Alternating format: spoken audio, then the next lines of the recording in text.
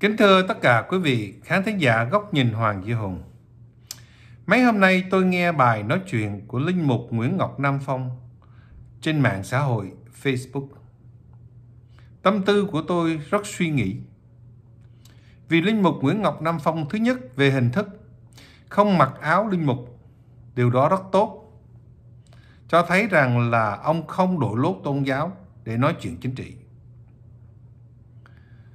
Rồi ông nói về vấn đề đồng hành dân tộc. Điều đó rất tốt. Nhưng mà ông nói đúng chính phần, chỉ cần một điểm sai thôi, dẫn dắt người đi vào mê hồn trận. Và chính vì đi vào mê hồn trận đó, nên tôi muốn phân tách bài nói chuyện của ông từng đoạn một. Những đoạn mà tôi cho rằng quan trọng. Trước khi đi sâu vào những đoạn đó và phân tách Xin mời quý khán thính giả theo dõi với tôi nhạc hiệu 30 giây.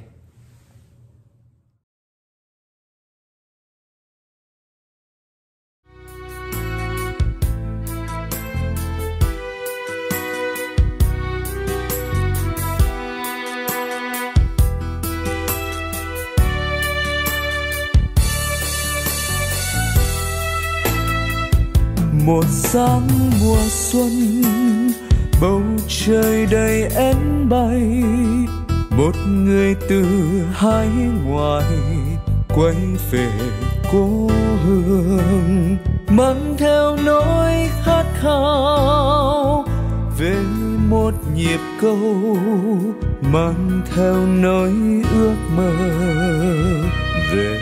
Thưa quý vị, đây là linh mục nguyễn ngọc nam phong. Dòng chú cứu thế. Hôm nay ông lên trên chương trình Facebook. Rất tốt là ông không mặc áo linh mục, mà chỉ là một người thường để bày tỏ quan điểm chính trị của ông. Tôi hoan nghênh việc bày tỏ quan điểm chính trị mà không đội lốt áo tôn giáo. Nhưng những quan điểm chính trị của ông tôi sẽ phân tách nó không đúng sự thật như sau. Bây giờ xin quý vị nghe ông nói đôi lời cùng dân tộc ừ, là chọn lựa mục vụ của giáo hội Việt Nam sau ngày đất nước thống nhất. Chọn lựa này được thể hiện tại Thư Chung năm 1980 của Hội đồng Giám mục Việt Nam. Thư Chung này đánh dấu lần đầu tiên sau ngày đất nước thống nhất, các giám mục hai miền Nam Bắc nhóm họp tại Hà Nội từ ngày 24 tháng 4 cho đến ngày 1 tháng 5 năm 1980. Theo đánh giá chung, chọn lựa đồng hành cùng dân tộc là một chọn lựa khôn ngoan phù hợp với đức tin cũng như với hoàn cảnh thực tế lịch sử của đất nước một đất nước à, vừa trải qua cuộc chiến khốc liệt huynh đệ tương tàn với những hệ lụy đau thương những đổ vỡ và sự chia rẽ sâu sắc giữa hai miền Nam Bắc. Đây cũng là chọn lựa phù hợp với đường hướng của công đồng Vaticano II, coi đối thoại là phương cách giải quyết mọi xung đột để xây dựng nền văn minh của tình thương và sự sống. Tuy nhiên à, đường hướng tốt đẹp ấy của giáo hội đã bị nhà cầm quyền trong một thời gian rất là dài lợi dụng.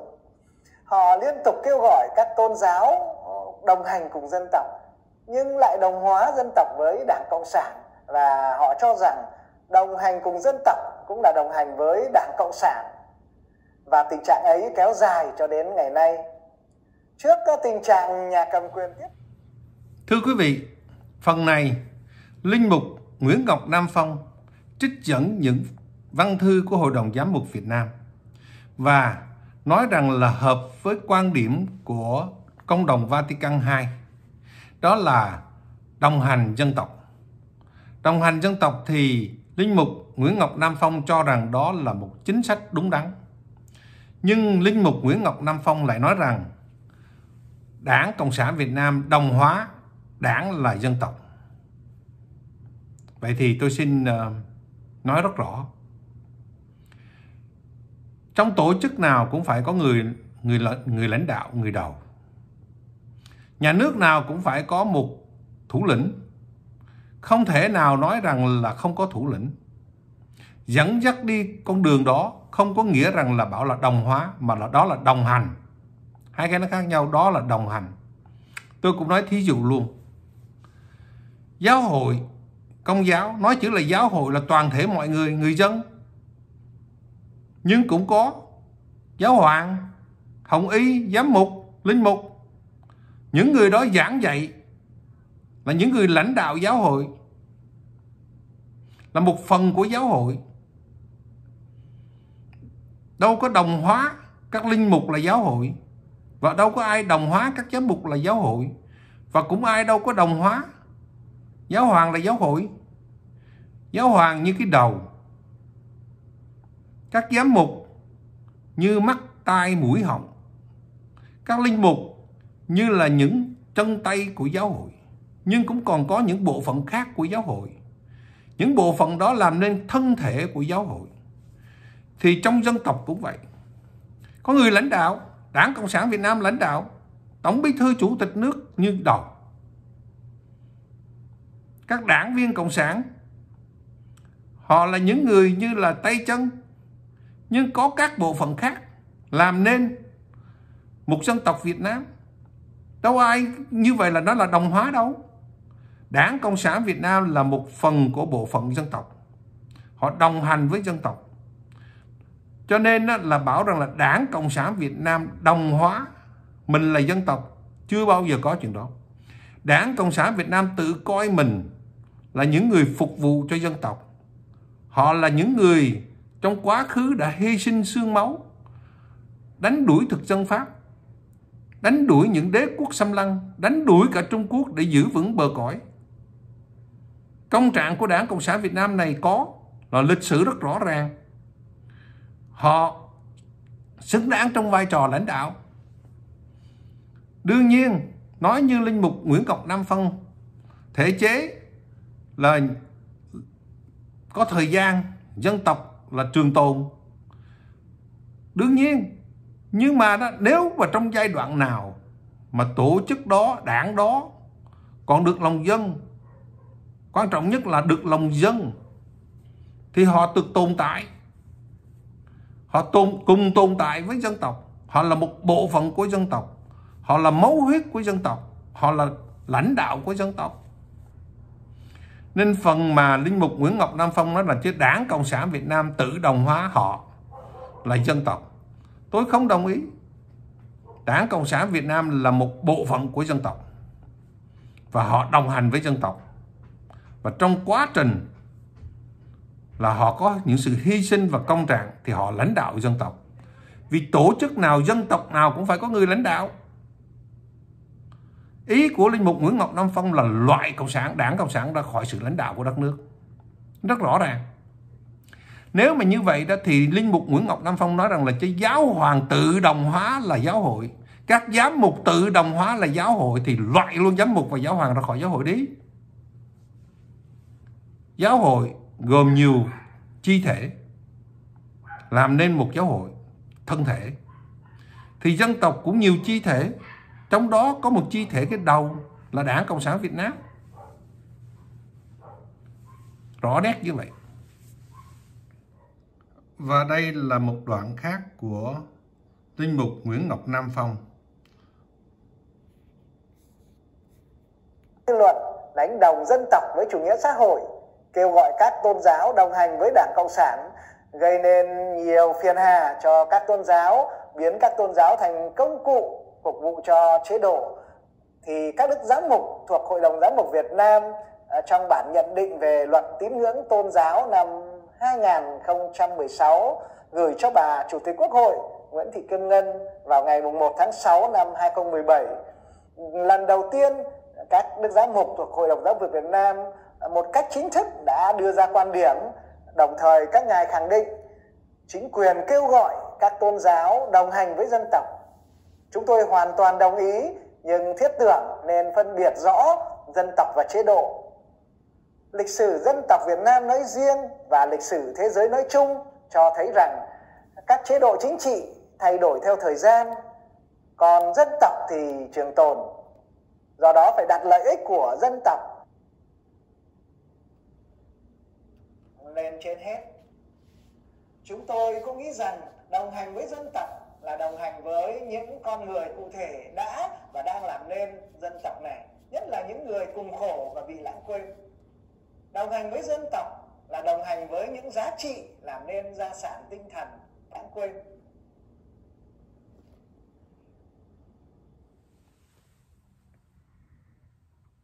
Thưa quý vị khán thính giả, đoạn này Linh Mục Nguyễn Ngọc Nam Phong nói rằng đồng hành dân tộc không có nghĩa là đồng hành với đảng Cộng sản, không có nghĩa là đồng hành với chủ nghĩa xã hội.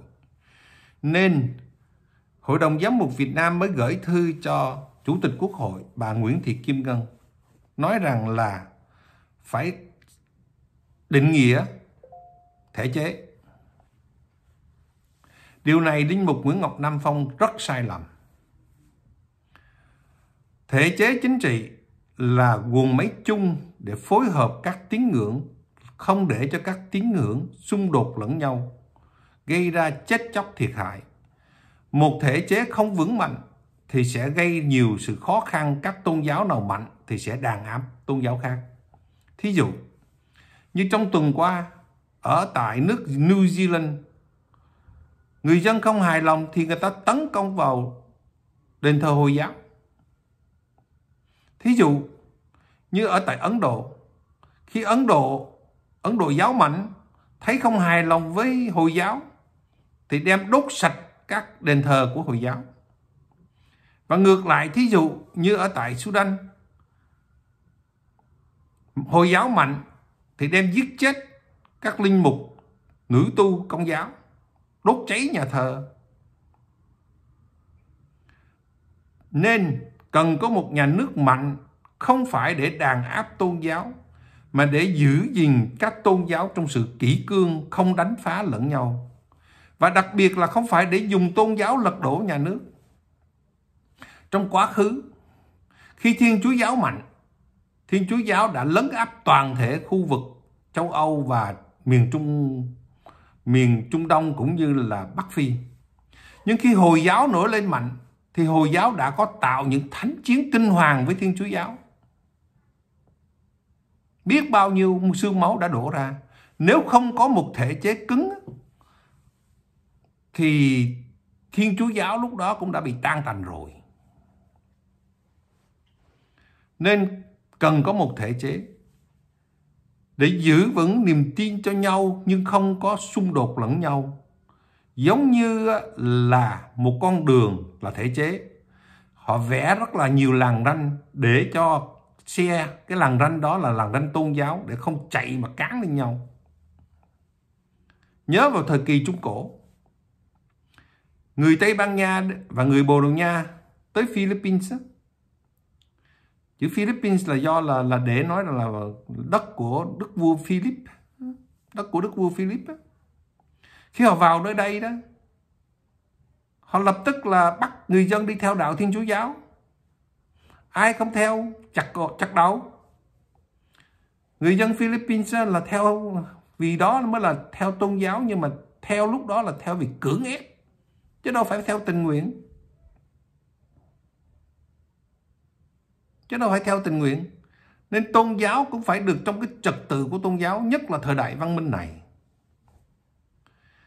còn mà dùng tôn giáo để kích động, để đòi lật đổ nhà nước, để đòi lật đổ đảng cầm quyền, thì đó là âm mưu cần phải triệt tiêu các linh mục kêu gọi những cái tự do tín ngưỡng, nhưng mà thực sự là dùng tự do tín ngưỡng để kích động, để đòi lật đổ đảng cầm quyền nước Mỹ có phân biệt được quyền đời và quyền đạo. Nhưng mà các linh mục hiện nay đang dùng cái áo đạo, lấy đạo để tạo đời. Nên nhà nước khi người ta nhìn ra được âm mưu đó là người ta dập từ trong trứng nước để tránh đi sự phá hoại. Không thể nào để cho một nhà nước Việt Nam giống như cảnh ở thời Trung Cổ. Hồi giáo mạnh thì giết những người không theo Hồi giáo. Thiên Chúa giáo mạnh thì giết Hồi giáo không theo Thiên Chúa giáo, như cảnh xảy ra ở tại Tây Ban Nha lúc đó. Nhà nước là một mái nhà chung cho các tôn giáo. Giữ gìn kỹ cương các tôn giáo không xung đột lẫn nhau. Đất nước ta không có quốc giáo giống như là ở bên Thái Lan hoặc là ở bên Miến Điện. Nhưng Linh Mục Nguyễn Ngọc Nam Phong thấy chưa? Ở bên Miến Điện đó, khi Hồi, khi Hồi giáo yếu thế, chỉ là một sắc dân Rohingya ở tại tỉnh bang Rakhine, thì những người Phật giáo đó, họ quá khích đó, họ tìm bằng mọi cách họ loại bỏ người Hồi giáo ra khỏi nước là vì họ e ngại là mai mốt có chiến tranh với Hồi giáo. Linh Mục Nguyễn Ngọc Nam Phong muốn cảnh đó à? Đất nước chúng ta không phải chỉ có Thiên Chúa Giáo. Thiên Chúa Giáo chỉ mới có 7, 8%, 10% là cùng thôi. Còn có đạo ông bà, lương giáo, đạo Phật, rất nhiều đạo khác. Thì phải để biết có một cái kỷ cương chung cho nhau, không có các tôn giáo sẽ đánh phá lẫn nhau. Tôi nhớ cái thời kỳ đệ nhất Cộng hòa Việt Nam vừa sụp đổ, đệ nhị Việt Nam Cộng hòa cảnh Thiên Chúa giáo và Phật giáo tranh nhau, đánh nhau choảng chí chóe. Tự do tôn giáo là đúng. Đâu ai ép buộc tôn giáo đi theo xã hội chủ nghĩa. Nhưng mà đó, hiện giờ đó là đảng lãnh đạo là đảng Cộng sản. Là một bộ phận lãnh đạo dân tộc là đầu thì cả dân tộc đi chiều nào thì mình đi theo chiều đó, chứ không phải mình muốn tách ra tôi thiên chúa giáo đứng nhất à tôi thiên chúa giáo đứng nhất à cái đó là cực đoan tôn giáo nguy hiểm cho dân tộc vô cùng. Mà đã xảy ra biết bao nhiêu chiến tranh bao nhiêu xương máu trong quá khứ rồi chúng ta cần phải tránh. Nên cái kiểu mà nói chuyện kích động đó của linh mục Nguyễn Ngọc Nam Phong không có ăn tiền đâu. Không có ăn tiền. Và đây Tiếp tục một đoạn khác của Linh Mục Nguyễn Ngọc Nam Phong. Đồng hành với dân tộc là đồng hành với những giá trị làm nên gia sản tinh thần và văn hóa của dân tộc Việt Nam như chống ngoại xâm, giữ gìn bờ cõi, chống cường quyền, tương thân tương ái hay lá lành đùm lá rách vân vân. Theo ý nghĩa đó, chúng tôi cho rằng các tôn giáo nói chung, công giáo nói riêng luôn đồng hành với dân tộc vì các tôn giáo khơi dậy những giá trị tinh thần cao quý trong lòng người các tôn giáo dạy các tín đồ của mình tôn trọng công bằng và lẽ phải sống từ bi bất ái tôn trọng mọi người vì chính phẩm giá của họ và như thế các tôn giáo đã góp phần phát huy truyền thống văn hóa tốt đẹp của dân tộc cộng tác tích cực và thưa quý vị Linh mục Nguyễn Ngọc Nam Phong nói rằng các tôn giáo là dạy ăn ngay ở lành, dạy đồng hành với dân tộc, dạy cùng kham động cộng khổ với những người nghèo, dạy vấn đề chống ngoại xâm, bảo vệ đất nước. Đúng là như vậy. Nhưng mà có những người lại lợi dụng tôn giáo để đi ngược lại chính những điều mà chính các vị giáo chủ của họ đã dạy. Như Đức Giêsu Kitô khi còn sống Ngài nói ta là đường, là sự thật, là chân lý. Và Ngài cũng nói rằng là cho những ai có nói có, không nói không, mọi điều gì khác do lòng ta mà ra. Thế nhưng các linh mục á, khi nói là nói sự thật nhưng mà đi rao giảng toàn sự giáo dối trá đó như linh mục Ngọc Nam Phong á lên trên tòa giảng thì nói rằng là thiên tai là do nhà nước. Trong khi đó thiên tai, các quốc gia khác đều lãnh nhận một cách hậu quả ghê gớm. Như ở dưới Trung Mỹ, không ai than phiền với nhà nước. Biết rằng nhà nước phải cố gắng hết mình. Làm sao mà gọi là bảo nhà nước khoanh tay, không làm gì hết. Và trong khi đó, nhà nước huy động cả 16.000 binh sĩ để mà cứu lục. Có nhiều người đã phải tử vong như là 13 chiến sĩ trong đó có cả một thiếu tướng Nguyễn Văn Mang đã hy sinh ở tại Rào Trăng. Thì các linh mục không nói mà chỉ là đi ra kích động nói rằng là nhà nước không làm gì hết. Đó là tuyên truyền sự dối trá, đi ngược lại với chính lý và giáo điều của giáo hội luôn.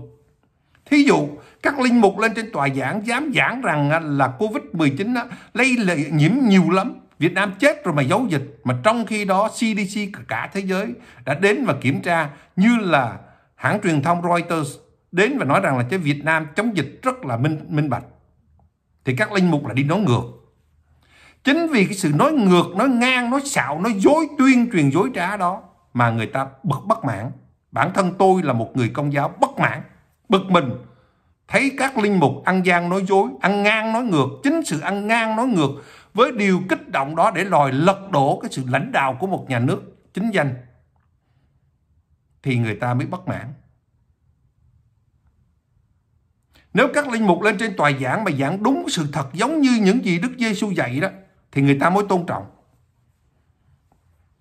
Còn đây các linh mục có lên giảng chỉ sự dối trá và các giáo dân đặt cái vấn đề thì tôi biết rất là rõ có nhiều linh mục là im, bẽn lẽn, tẻn tò. Nói rằng là Việt Nam giấu dịch, người ta hỏi giấu chỗ nào? Không có trả lời, không trả lời được. Thiên nhiên bão táp tới tấp, nhà nước lo cứu lục cần chết. Biết bao nhiêu là binh sĩ phải ra chiến trường để cứu lục thì mấy ông linh mục này lên giảng nói rằng là nhà nước khoanh tay không làm gì hết được kích động đó là sự bịa đặt và theo đạo đó là vu cáo, các ông không xứng đáng là linh mục nữa. Các ông không xứng đáng là giáo dân luôn, chứ đừng nói là làm linh mục. Linh mục là phải rao giảng sự thật của Đức Giêsu đây, các ông giao giảng sự dối trá của sa tăng của bè lũ ác ôn đó. Vậy mà các ông cho rằng là đồng hành dân tộc à? Tôi nói thiệt, Nguyễn Ngọc Nam Phong không xứng đáng làm linh mục, chưa xứng đáng làm giáo dân. Giáo dân là phải ăn ngay nói thẳng, nói thật theo Đức Giêsu dạy chứ đây đi bịa chuyện đó xạo kích động tệ vô cùng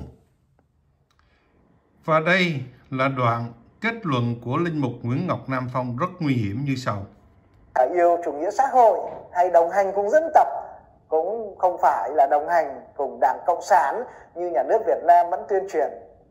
Trái lại, trong vai trò của một đảng cầm quyền không chính danh thì Đảng Cộng sản Việt Nam mới thực sự là nhóm người cần phải đồng hành với dân tộc hơn bất cứ tổ chức nào khác.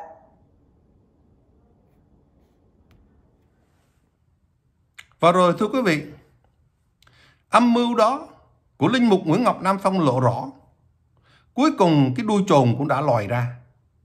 Đó là Linh Mục Nguyễn Ngọc Nam Phong cho rằng Đảng Cộng sản Việt Nam không có chính danh để nắm quyền. Vậy ai có chính danh? Hay là Linh Mục Nguyễn Ngọc Nam Phong muốn có một khía cảnh giống như là quan toàn quyền Doxanlier của Pháp, lập nên cái gọi là Nam Kỳ tự trị, treo cờ vàng ba sọc xanh, lấy chinh phụ ngâm, làm quốc ca. Đó là đó là một nước ở miền Nam. Rồi sau đó đó mới trao quyền lại cho ông Ngô Đình Diệm. Thì cho đó là chính thống mà, cho đó là chính danh nè hay đó là một cái sự tây sai cho ngoại xâm?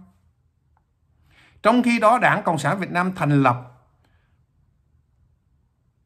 từ năm 1930 nhưng năm 1945 qua cách mạng tháng 8 các đảng phái quốc gia cũng đứng dưới ngọn cờ của Việt Minh đã đánh đuổi được Pháp, đánh đuổi được Trung Quốc, Trung Hoa Quốc dân đảng, lập nên nhà nước Dân Chủ, Việt Nam Dân Chủ Cộng Hòa năm 1945. Tới nay là đã 75 năm. 75 năm. Đó là tinh thần chống ngoại xâm đó. Mà Linh Mục nói đó. Tinh thần chống ngoại xâm đó. Và đã dẫn dắt Đảng Cộng sản Việt Nam đã dẫn dắt cái cuộc đấu tranh đó một cách thành công tốt đẹp chống luôn cả Pháp, đuổi Pháp ra khỏi đất nước, chống luôn đế quốc Mỹ mà gọi là xâm lăng để rải biết bao nhiêu ngàn tấn bom đạn lên trên dân tộc Việt Nam. Thử chất hóa học như là chất độc da cam tại Việt Nam. Và đánh luôn cả Trung Quốc qua cuộc chiến ở phía Bắc năm 1979 và cuộc chiến Vị Xuyên 10 năm trời để giữ vững chủ quyền lãnh thổ của đất nước ta. Thì đó không phải là chính danh và chính thống à? Hay là chính danh là chính thống của mấy ông Việt Nam Cộng Hòa bỏ chạy qua nước Mỹ này lúc nào cũng xuyên tạc về đất nước? Chắc là chính danh là khi nào ông Nguyễn Ngọc Nam Phong lên làm tổng thống á, hay là chủ tịch nước thì mới là chính danh? Cái đuôi chồn của linh mục Nguyễn Ngọc Nam Phong đã ra ra rồi cuối cùng tất cả những cái gì kia là chỉ là xảo xảo biện để che giấu cho một cái mưu đồ là muốn muốn đòi thay thế lãnh đạo thay thế quyền lãnh đạo của Đảng Cộng sản Việt Nam. Mấy ông muốn như vậy thôi. Các ông chả đấu tranh gì gì về cho giáo hội và dân tộc cả. Chỉ đấu tranh cho cái, cái quyền tự tự cao tự đại đòi lãnh đạo đất nước. Đòi lãnh đạo đất nước. Các ông muốn cái cảnh mà gọi là đất nước tan nát giống như là ở Syria đa đảng đấu nhau 12 sứ quân, đất nước tan nát luôn. Aleppo, một thành phố gọi là cổ kính trong kinh thánh nữa. Bao nhiêu ngàn năm, bây giờ tan nát, không còn một hòn đá nào trên hòn đá nào hết. Đó là lãnh đạo chính danh của các ông muốn đa đảng đó hay là ở tại Libya đó. lật đổ xong thì là sao? Đánh nhau. Bây giờ lập ra hai chính phủ, mười mấy sứ quân, ngày nào cũng đánh nhau. Dân không có cơm mà ăn, không có điện nước.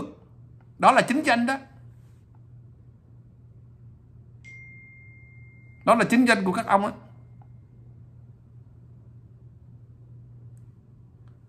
Hay là chính danh giống như ở tại Iraq. Mỹ đem quân vào xong hạ bệ Adam Saddam Hussein xong. Bây giờ hai đạo thôi, mà cùng một đạo hồi á, đạo Shiite thì lại Sunni đó. Ngày nào cũng đánh nhau hết. Bom nổ, khác tôn, cùng một tôn giáo, khác hệ phái, đấu nhau hàng ngày. Đó là chính tranh đó. Người dân Iraq bây giờ ngao ngán cái cảnh đó. Nên xin linh mục Nguyễn Ngọc Nam Phong, dám chơi dám chịu đi, cởi áo linh mục ra mà làm chính trị đi, xem thử làm sao hôm nay ông không có mặc áo linh mục, tốt rồi.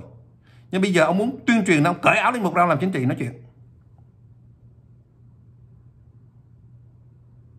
Cởi áo linh mục đi. Có thử ông có khả năng lãnh đạo hay không, ông biết liền.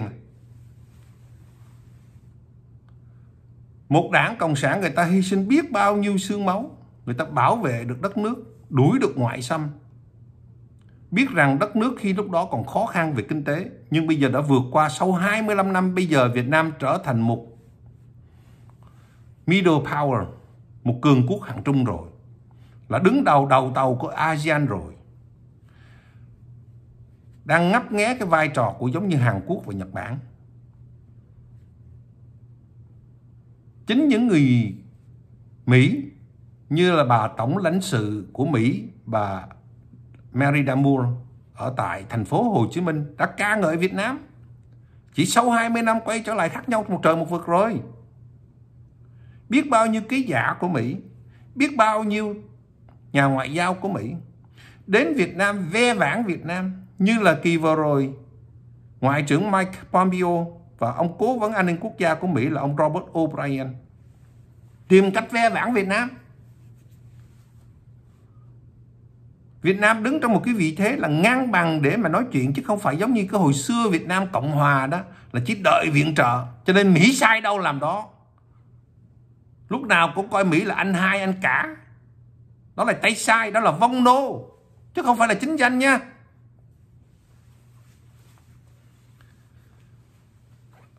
Cái đuôi trồn của Linh Mục Nguyễn Ngọc Nam Phong đã lòi ra.